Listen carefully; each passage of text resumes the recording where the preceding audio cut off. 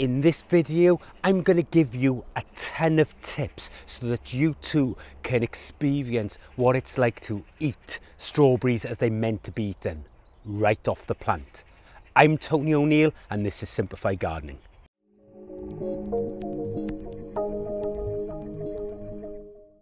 I'm going to assume you're starting from nothing. The first thing we need to do is establish where we're going to get our strawberry plants from in the first place.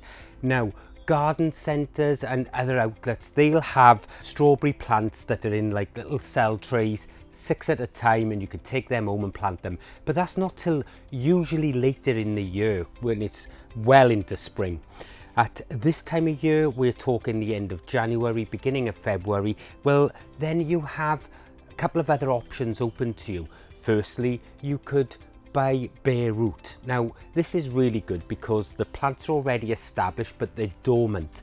And root, well, they, they're big plants, but because they're dormant, we'll need to plant them on into containers and then allow them to wake up. Another option would be to purchase them in plug plants and these are plants that are already awake they are growing very slowly albeit but as you can see there is new leaves coming out there now plug plants are fantastic because they're awake and it allows you to be able to get that plant going early now.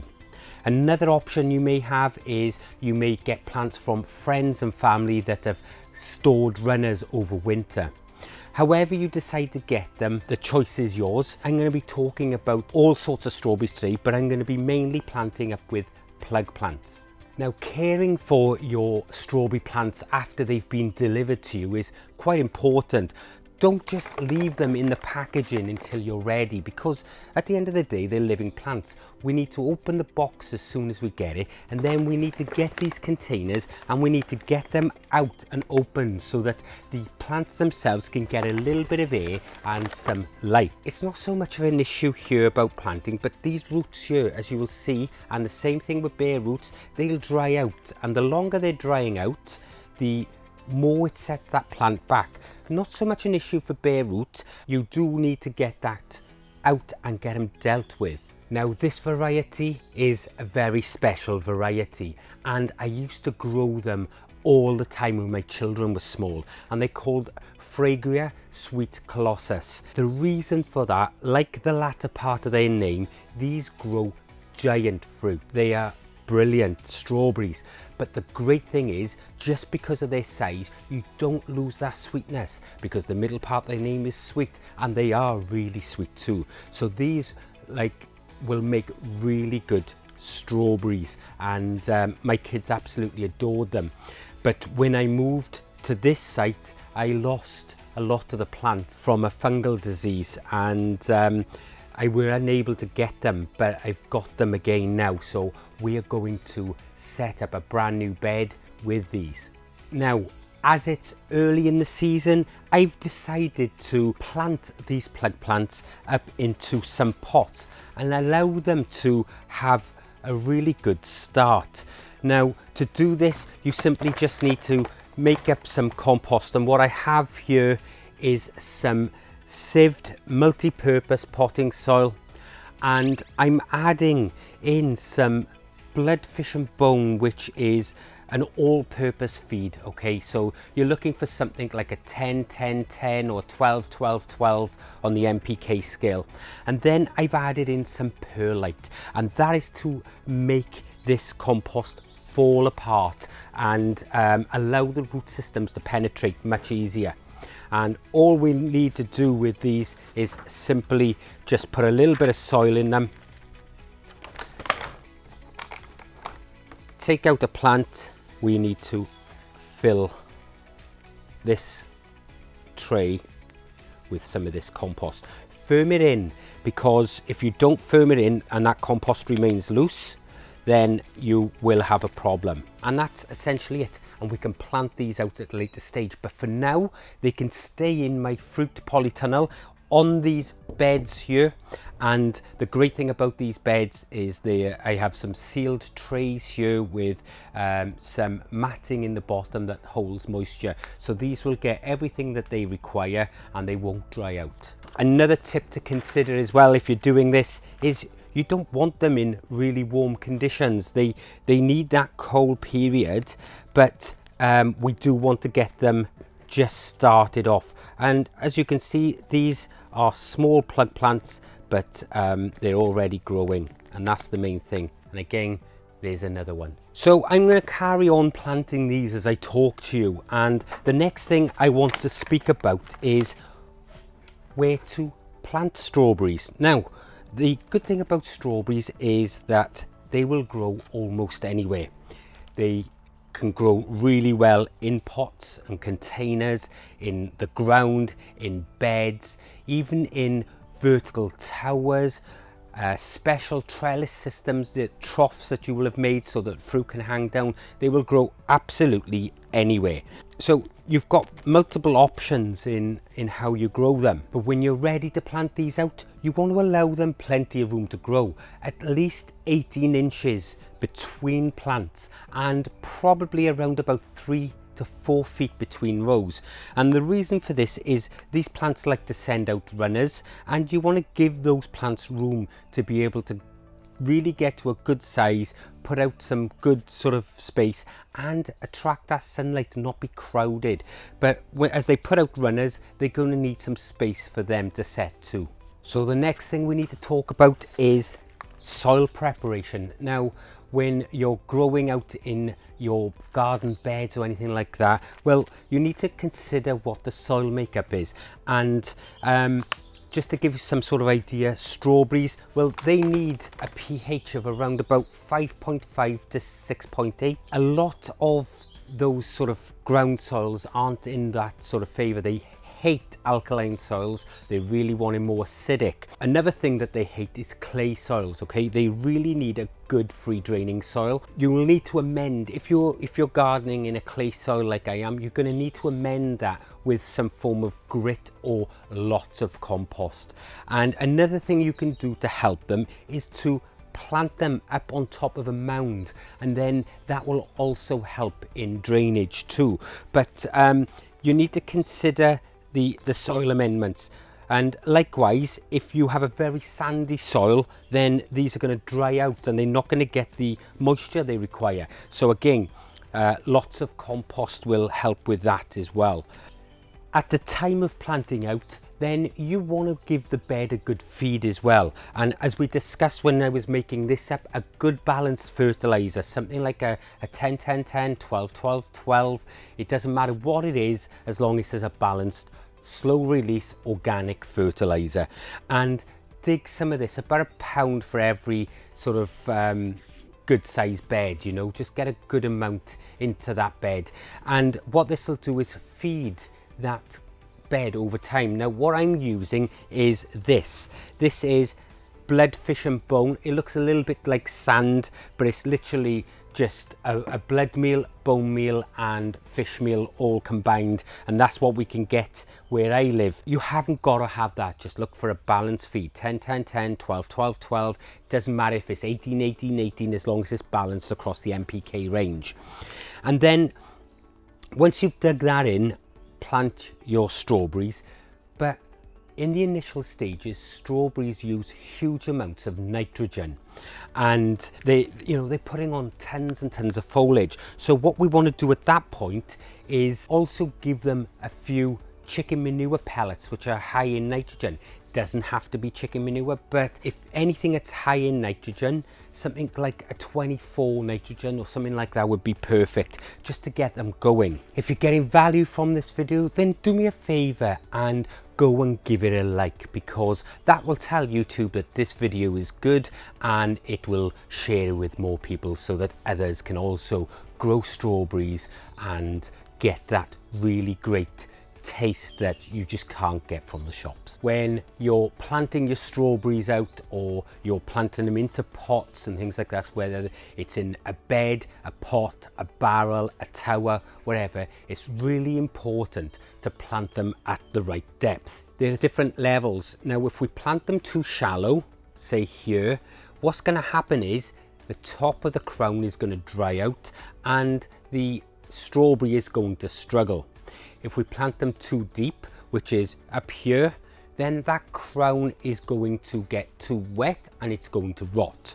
So we need to plant them at the right level. And the great thing about buying plants or plugs is you already have that soil level. So we can just plant up to the same level as, of soil. But with bare root, we don't have that option. So it's really important that you get that nailed and at the right level so that you don't lose your plants. So when your strawberries start to fruit, well, we then need to change things a little bit because beforehand we were feeding with a high nitrogen feed to get that foliage to to grow. But now we need to change it from nitrogen. We need to stop that altogether and we need to switch over to a high potassium feed. And that's going to allow the plant to pull in the potassium and use that in fruit production. We also need to up the watering as well because they will use huge amounts of water at this time. But the potassium is important. So remember as soon as fruiting starts or as soon as you see those flowers appearing that's an indication of cut out the nitrogen start the potassium. And uh, you'll have really good plants. So just now I just spoke about watering very briefly. When the fruit starts forming, you're going to need to be watering these plants every single day. With a lack of water, the plants are going to think that um, it's coming to the end of their season and they're going to try putting out seed and they're going to go dormant. So you really need to give them that water so that they can produce large fruit for us and when they have the water they will continue to bear fruit for that time.